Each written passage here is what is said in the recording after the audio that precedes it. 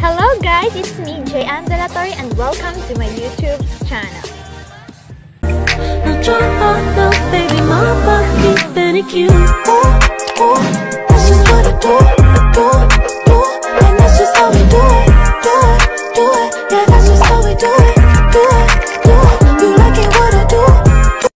So before we get to the discussion, make sure to like, subscribe on my YouTube channel, hit the notification bell for more updates on my upcoming videos. So, for today's vlog, I am gonna talk about eco-literacy and sustainable development. Number two, ecologically literate person and society. Number three, ways to develop eco-literacy in the schools. And number four is the seven environmental principles. Starting from the word eco-literacy. What do you mean by that? Ecological literacy is the ability to understand the organization of natural systems and the processes that maintain the healthy functioning of living systems and sustains life on Earth. In 1990s, American educator David W. Orr and physicist Richard Capra coined the term ecoliteracy which introduced a new value into education's Earth's well-being. Okay, next. So what is sustainable development? Sustainable development is the idea that human societies must live and meet their needs without compromising the ability of future generations to meet their own needs. The official definition of sustainable development was developed for the first time in Brundtland Report in 1987. Specifically, sustainable development is a way of organizing society so that it can exist in the long term. This means taking into account both the imperatives present and those of the future, such as the preservation of environment and natural resources or social and economic equity. Let's move on to the next topic, ecologically literate person and society. So when you say ecologically literate person, so what does it mean? Ecologically literate person, the responsible, lifelong learners who strives to enhance human situations with the context of self, human groups, the ecosphere and the biosphere will be regarded as the ecologically literate person of the 21st century. This person will discover the meaning and the purpose in life by striving for greater balance in his or her cognitive, affective, psychomotor, reflective, aesthetic, social, creative, and spiritual activities. The pursuit of major life works will be used to help develop these attributes. Ecologically literate person of the 21st century will have the positive outlook in life based on the belief that each individual possesses a certain elements that connects them to a universal and timeless energy, as well as the ability to competently perform significant. This perspective will allow this person to consider human experience. Ecological Literate Society A society that is ecological literate is one that is sustainable and does not degrade the natural environment on which it depends. Ecological literacy is a significant notion because it lays the groundwork for a comprehensive approach to environmental issues. Let's proceed to the next topic, ways to develop ecoliteracy in schools. These five practices developed by the Berkeley-based Center for Ecoliteracy offer guideposts to exciting, meaningful, and deeply relevant education that builds on social and emotional learning skills. They can also plant the seeds for a positive relationship with the natural world that can sustain a young person's interest and involvement for a lifetime. The first is develop empathy for all forms of life. At a basic level, all organisms, including humans, need food, water, space, and conditions that support dynamic equilibrium to survive. By recognizing the common needs we share with all organisms, we can begin to shift our perspective from a view of humans as separate and superior to more authentic view of humans as members of the natural world. From that perspective, we can expand our circles of empathy to consider the quality of life of other life forms, feel genuine concern about their well-being, and act on that concern. Most young children exhibit care and compassion towards other living beings. This is one of the several indicators that human brains are wired to feel empathy and concern for other living things. Teachers can nurture this capacity to care by creating class lessons that emphasize the important roles that plants and animals play in sustaining the web of life. Empathy can also be developed through direct contact with other living things, such as by keeping live plants and animals in the classroom. Taking field trips to nature areas, zoos, botanical gardens, and animal rescue centers, and involving students in the field projects such as habitat restoration. Second is embrace sustainability as a community practice. Organisms do not survive in isolation. Instead, the web of relationships within any living community determines its collective ability to survive and thrive. By learning about the wondrous ways that plants, animals, and other living things are interdependent, students are inspired to consider the role of interconnectedness within their communities and see the value in strengthening those relationships by thinking and acting cooperatively. The notion of sustainability as a community practice, however, embodies some characteristics that fall outside most schools' definition of themselves as community. Yet, these elements are essential to building ecoliteracy. For example, by examining how their community provisions itself from school food to energy use, Students can contemplate whether their everyday practices value the common good.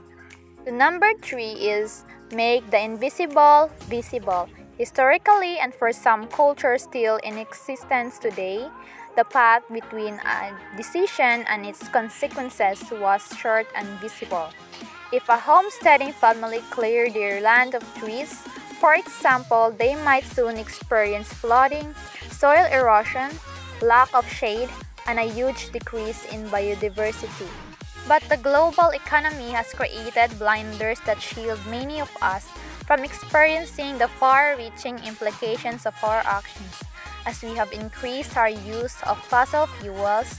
For instance, it has been difficult and remains difficult for many people to believe that we are disrupting something on the magnitude of the Earth's climate. Although some places on the planet are beginning to see evidence of climate change, most of us experience no changes. We may notice unusual weather, but daily weather is not the same as climate disruption over time. If we strive to develop ways of living that are more life affirming, we must find ways to make visible things that seem invisible. The fourth is anticipate unintended consequences. Many of the environmental crises that we face today are the unintended consequences of human behavior.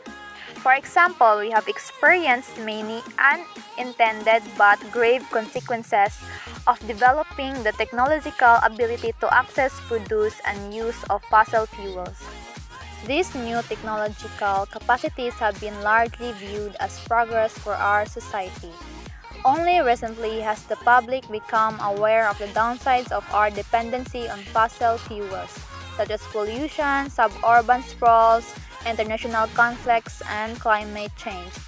Teachers can teach students a couple of noteworthy strategies for anticipating unintended consequences. One strategy, the precautionary principle, can be boiled down to this basic message. When an activity threatens to have a damaging impact on the environment or human health, precautionary action should be taken regardless of whether a cause and effect relationship has been scientifically confirmed. Another strategy is to shift from analyzing a problem by reducing it to its isolated components to adopting a systems thinking perspective that examines the connections and relationships among the various components of the problem. Students who can apply system thinking are usually better at predicting possible consequences of a seemingly small change to one part of the system that can potentially affect the entire system. One easy method for looking at a problem systematically is by mapping it and all of its components and interconnections. It is then easier to grasp the complexity of our decisions and foresee possible implications.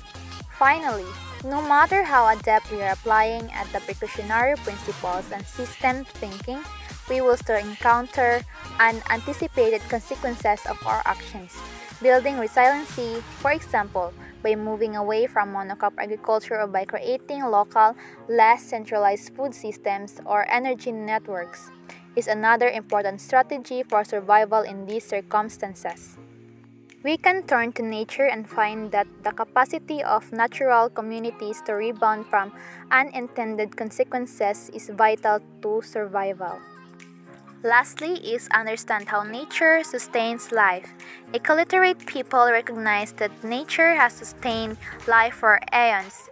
As a result, they have turned to nature as their teacher and learned several crucial tenets. Three of those tenets are particularly imperative to ecoliterate living. First of all, ecoliterate people have learned from nature that all living organisms are members of a complex interconnected web of life and that those members inhabiting a particular place depend upon their interconnectedness for survival.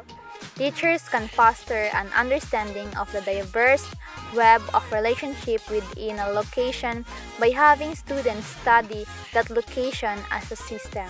Second, ecoliterate people tend to be more aware that systems exist on a various levels of scale in nature, organisms are members of systems nested within other systems.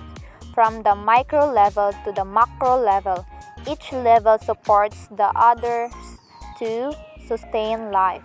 When students begin to understand the intricate interplay of relationships that sustain an ecosystem, they can better appreciate the implications for survival that even a small disturbance may have or the importance of strengthening relationships that help a system respond to disturbances. Finally, ecoliterate people collectively practice a way of life that fulfills the need of the present generation while simultaneously supporting nature's inherent ability to sustain life into the future. They have learned from nature that members of a healthy ecosystem do not abuse the resources they need in order to survive. They have also learned from nature to take only what they need and to adjust their behavior in times of boom or bust. This requires that students learn to take a long view when making decisions about how to live. To be the last topic that I'll be discussing on this vlog, the seven environmental principles. The first principle is nature knows best. One natural process that needs serious attention is nutrient cycling.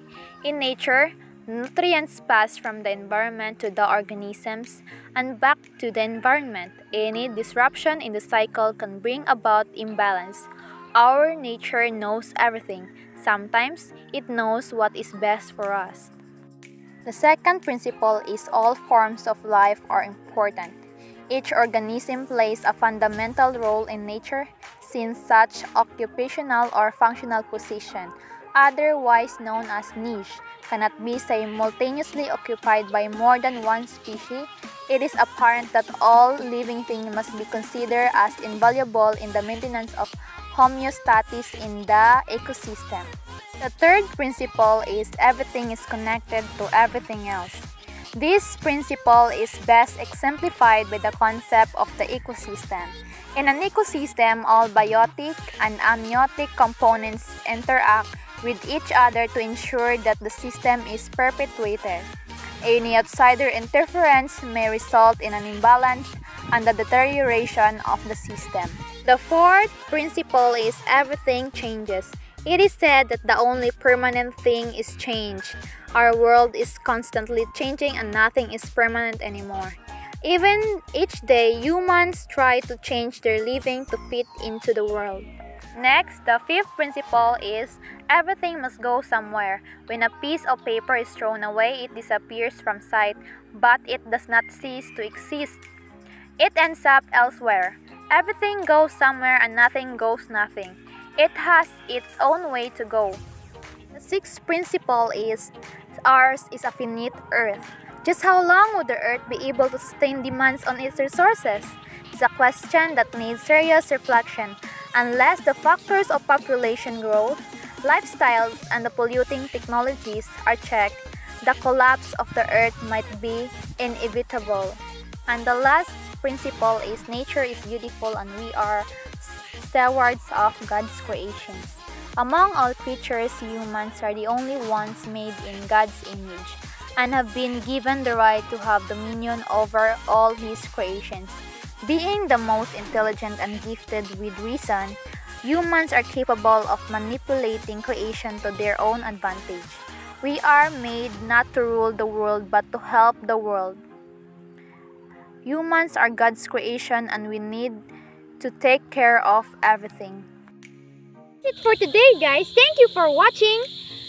And I hope you learned something from my discussion. See you on my next video. Bye! Now drop off, baby, my body, ooh, ooh.